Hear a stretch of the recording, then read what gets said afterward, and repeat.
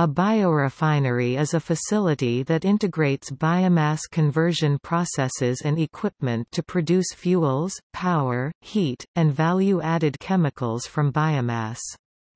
The biorefinery concept is analogous to today's petroleum refinery, which produce multiple fuels and products from petroleum. The International Energy Agency Bioenergy Task 42 on biorefineries has defined biorefining as the sustainable processing of biomass into a spectrum of bio-based products, food, feed, chemicals, materials, and bioenergy, biofuels, power and or heat. By producing multiple products, a biorefinery takes advantage of the various components in biomass and their intermediates therefore maximizing the value derived from the biomass feedstock. Some researcher have considered the exploration of a biorefinery as a practical method of improving the economic performance of standalone biomass to bioenergy system since biochemicals are produced. A biorefinery could, for example, produce one or several low-volume, but high-value, chemical or nutraceutical products and a low-value, but high-volume liquid transportation fuel such as biodiesel or bioethanol see also alcohol fuel.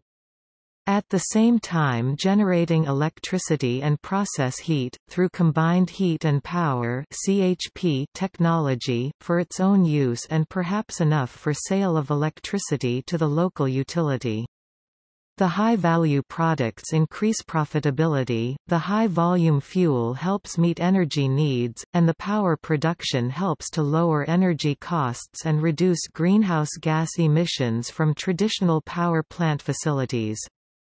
Although some facilities exist that can be called biorefineries, the biorefinery has yet to be fully realized.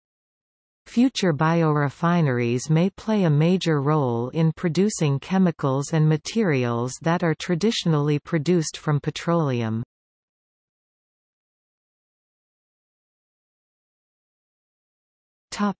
Examples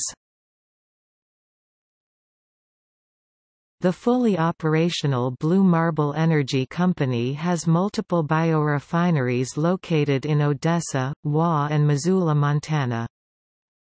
Canada's first integrated biorefinery, developed on anaerobic digestion technology by Highmark Biogas is located in Harry Hill, Alberta. The biorefinery utilizes source-separated organics from the Metro Edmonton region, open-pen feedlot manure, and food processing waste. Several potential biorefinery examples have been proposed, starting from feedstocks such as tobacco, flax straw and the residues from the production of bioethanol. Biorefineries have also been proposed to gather as much materials from trees i.e. cellulose, hemicellulose, lignin, lipids as possible. Chemrec technology for black liquor gasification and production of second-generation biofuels such as biomethanol or biodme is integrated with a host pulp mill and utilizes a major sulfate or sulfite process waste product as feedstock. See also